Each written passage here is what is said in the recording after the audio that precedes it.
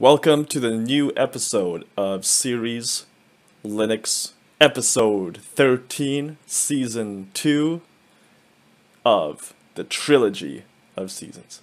Hmm. Alright, so today we're talking about how to compile software manually by yourself. In previous videos, we've installed software ourselves through like apt-get and if you were to install Ansible, you would be just doing apt-get install Ansible, or Emacs, or literally anything that you want to install in your system. So that's kind of the easy way of doing it.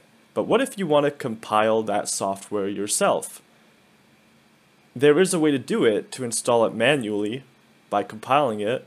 The reason why you would want to do this is if, one, you're a developer and you want to kind of modify how it gets installed and you kind of need it for something very specific for what you're trying to achieve as a developer or if you're just trying to modify the source code. Another reason, if you're not a developer and you're just a sysadmin or you want to do system engineering, then sometimes these apt-get packages are out of date or they are missing something and you need to add that inside of the package while it's installing. So that's what we're going to be doing today. And for this example, we're using HTOP. So here's the HTOP website. It's got all kinds of documentation on it. So if we want to get started, we can just go to download. And under download, we have sources and binaries. Binaries are pre-compiled, meaning that this is probably the stuff that you're going to be pulling when you're doing apt-get install htop. This is kind of like the pre-built, the auto installs, I guess. The sources are the source code. And this is what you're going to be using if you're compiling the software by yourself. So let's go under sources. Here it gives us a little tutorial of what it is. We're using GNU Auto Tools and we're going to be using this command to probably install it. So here it's showing the different packages per distribution and so here it's showing that if we're using tarball this is probably the one to install. If we're using github then we'll probably have to go to here for the latest version. If we're using a git repository then we'll probably use this one. And down here just shows the binaries but in this video we're going to be using tarball. Tarball is just like a compressed file that can be unzipped. So kind of like a zip or or anything like that. But with tarball, the files are like dot tar. Oh, okay. Page not found.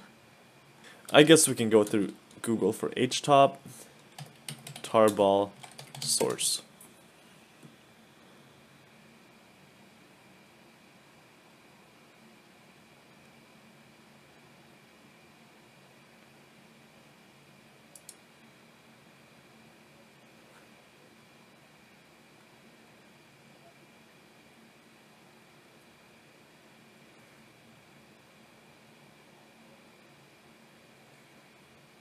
Alright, so I found a little something here.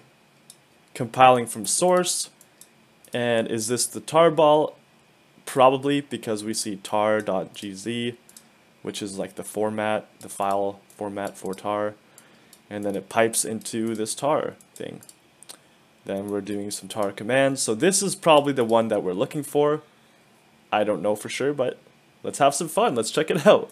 So, alright we're going to be doing a little bit of back and forth here. I'm going to open up a, well, first of all,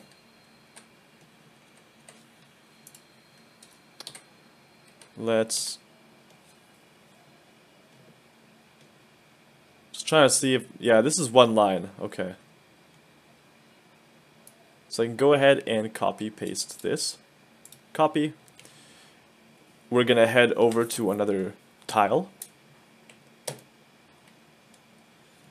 And before we paste this in here, the command starts with wget.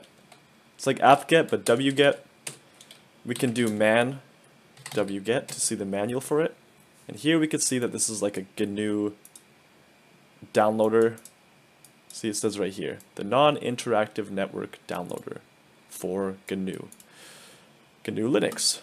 And then it gives us some different options. So we can do dash R. You know, you can just kind of go through the manual to see dash V for version, dash H for help. Cool stuff. So we can go ahead and paste our command in here. So our command is doing wget. We've got some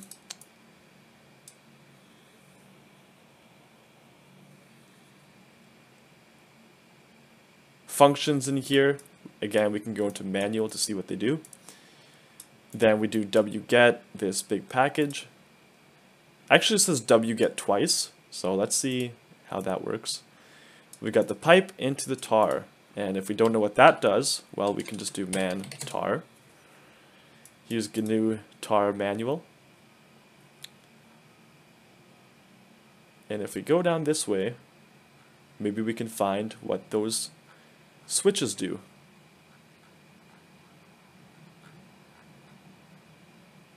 X is extract, that was one of the ones in there. Uh, we, I think I saw a W and a V as well. W is verify. V is probably version. Verbose. Okay. Verbosely lists files processed. Okay, so that's what That's what this does. So it extracts, it's verbose, and it verifies? I, I, I can't remember anymore. Doesn't matter. Let's hit enter. It's a VM anyways. Doesn't matter if we break anything. And it didn't work because... I don't know. I don't know why it didn't work, but let's just write it out manually. HTTP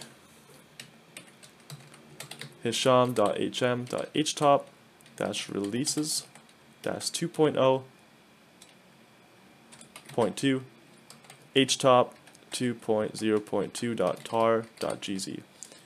Does this work? And I think it does. Okay. Let's go over to our other one.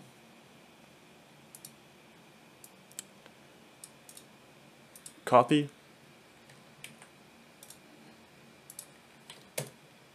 Okay we didn't get anything, we didn't get any error output, so that might be a good sign that it worked. Change the directory. Now we're going to configure this. We might have to change this to VI. But um, no? Okay, cool. Then we do make install. It says do make first, so we'll just type in make. Then we can do make install. Okay, so we can do one of these. Let's say sudo apt install make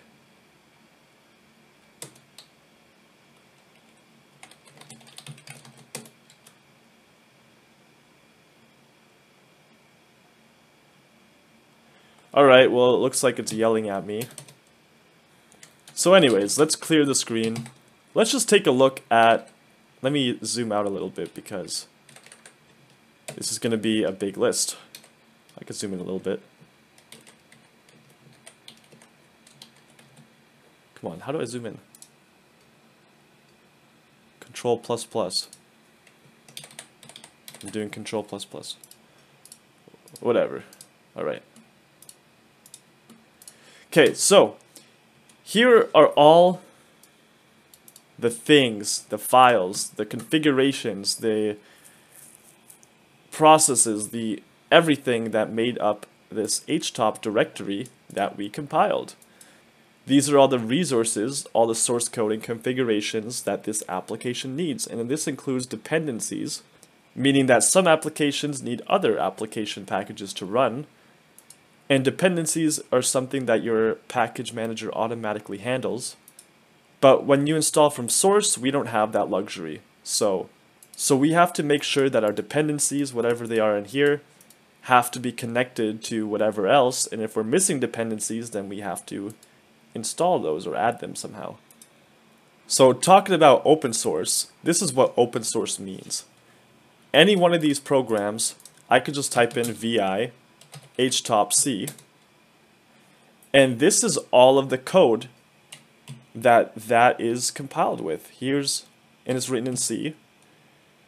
You can change anything in here. You can change any parameter. You can delete any parameter. You can modify if there is a bug in the program that you don't want there, or if maybe the bug is just a feature and you just think it's a bug, well, you can get rid of it or modify it here to make it do what you want it to do. So that's that's the cool thing about open source is now we have absolute control over every aspect of the software that we installed. However, when we're getting started with compiling software, the very first thing we need to configure is configure. Not config h, not config log, just configure. So we do vi configure, and here are the configuration parameters. Now, if we go ahead and do this, we're probably going to break a couple things. This is all in shell binary.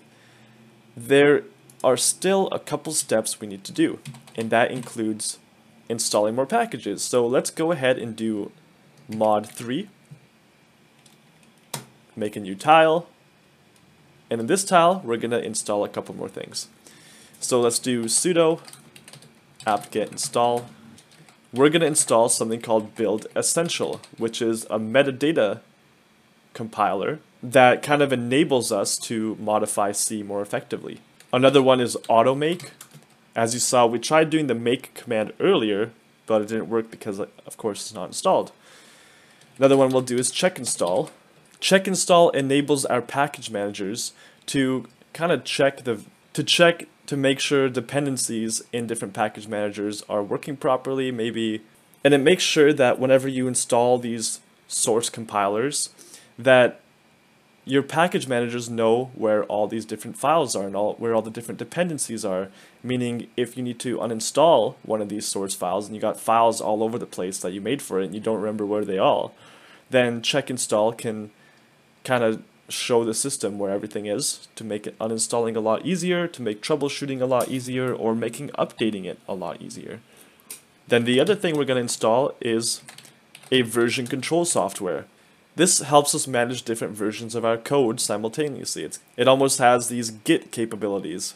And if you're familiar with Git, Git allows many people, a whole team or even a whole company, to be working on code projects together and be able to do version control and be able to manage everything in a way that everybody knows what everyone's doing. Everybody knows the current version up to date and why it's up to date what has changed every time someone has changed it. So we can even do git. Let's do git core. Let's do mercurial is another one. So to do a quick recap, this is one command. It's an apt-get install command. We're building, we're installing build essentials, which is a software. We're installing automake, which is a software. We're installing check install, which is a software. And we're installing these three packages, which are different packages for softwares that do similar things.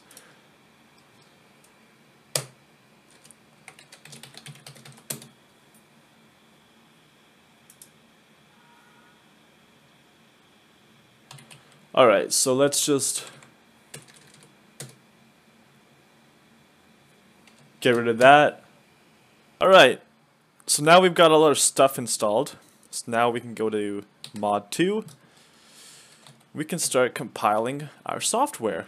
So we're currently inside the directory that has all our source code and our configurations and all of everything that we need. So we can go ahead and configure our configure script. And if for whatever reason you can't do that, we could try checking the permissions first of all. Configure. Here we can see it's executable. But if we want to change these, then we could do, you know, L chmod 777 configure. And now you got read write all the way across the board.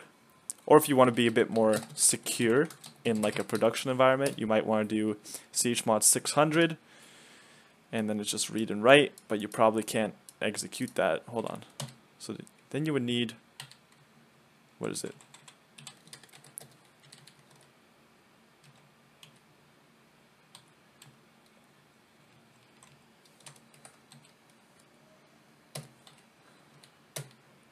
Yeah, or something like that. I don't know, play around with those numbers, but should be able to get it to work.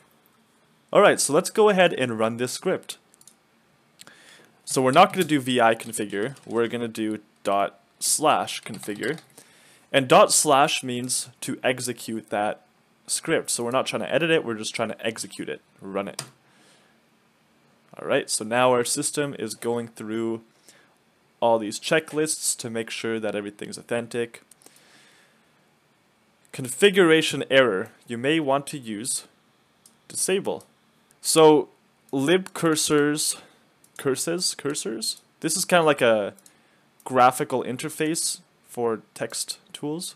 So let's do sudo apt-get install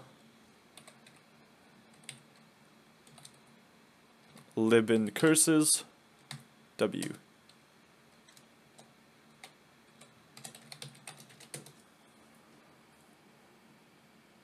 Unable to locate package. Okay.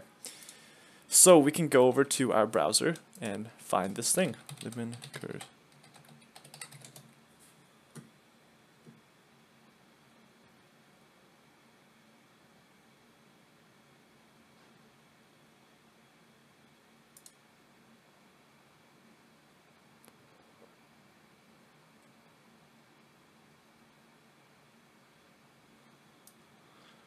Alright, let's try this one. Copy. I'm going to go over to our third tab here. Paste this in here. Yes.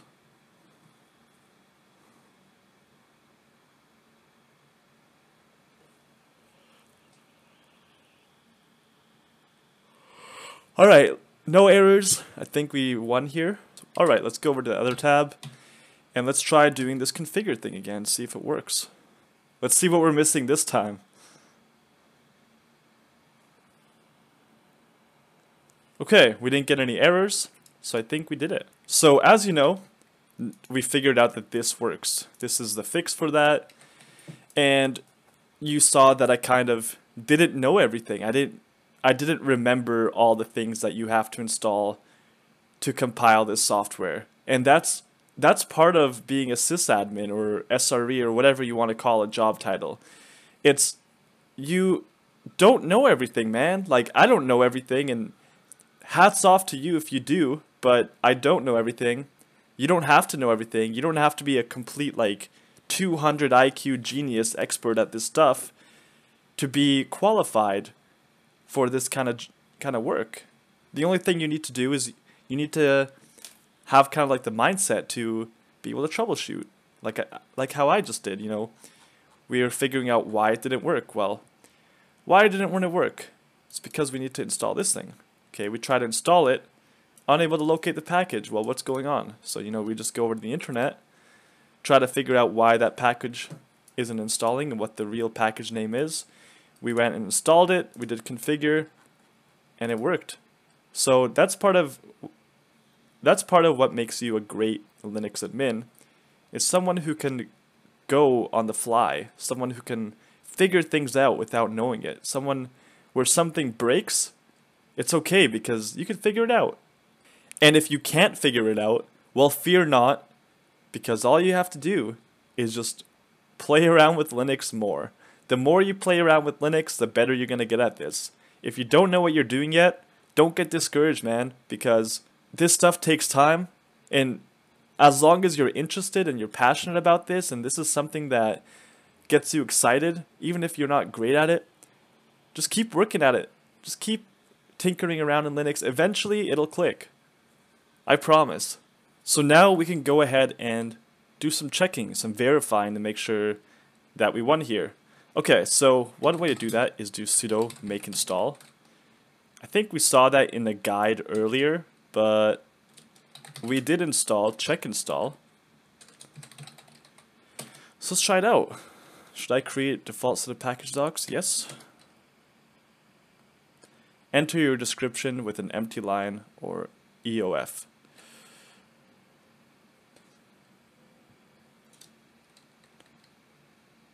Okay, description is htop open source. So we can change any of these things, but I'm just going to leave it all as default. Looks good. Hit enter. Okay, so do you want me to list them? Some of the files created by the installation are inside the home directory.